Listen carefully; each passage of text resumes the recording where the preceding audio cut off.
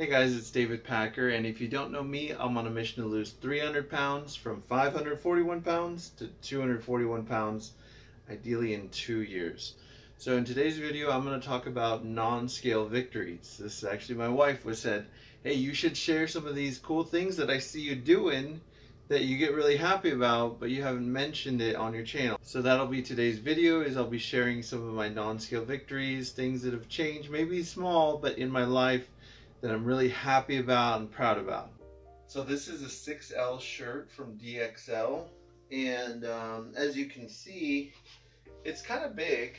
Uh, so this is the what I've been wearing and I'll still wear it but as you can see I mean width-wise it's actually not bad but it's just super long. So this is the 6L that you've seen me in quite a few videos this is a 4XL shirt, so you can definitely see it's a little tighter. Um, but I think it's awesome that I can fit in a 4XL. So one reason I'm really excited about being in a 4XL is it means I'm only one shirt size away from being able to shop at a regular store at like a Walmart, which goes up to 3XL.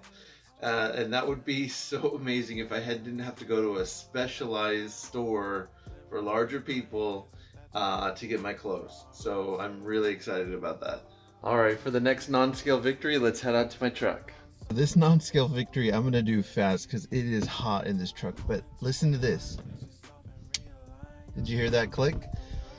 Whew, so um, I've not been able to fit in a regular size seatbelt without an extender for uh, probably over a couple years.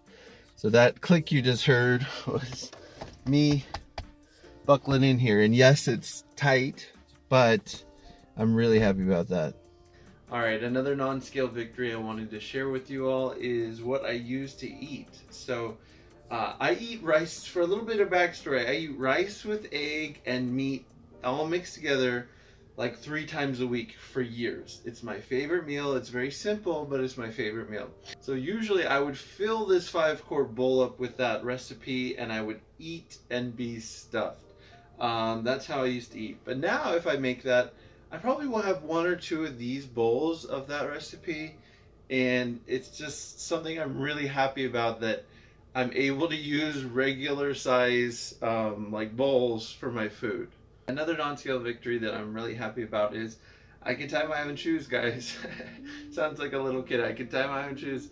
So before I would always have to ask my wife. I couldn't reach it. My belly was in the way and I wasn't flexible enough. But uh, like, I, like I said, now I can do it. Um, it's a little bit cockeyed on the side of the shoe because I have to do it on one side where it's easier to reach, but I can do it now.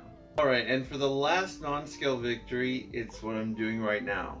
And what I mean by that is standing and walking. So uh, I think I mentioned it before, but if I would stand too long or if I went to even just a grocery trip, by the end my legs were numb and my back were, was hurting.